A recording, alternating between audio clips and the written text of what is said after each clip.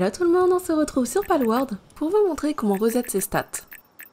Si comme moi vous avez réparti un peu au hasard vos points dans le jeu, eh bien il faut savoir qu'il est possible de tout remettre à zéro. Par contre on pourra uniquement le faire à partir du niveau 43, car c'est à ce niveau que l'on pourra fabriquer une table pharmaceutique électrique.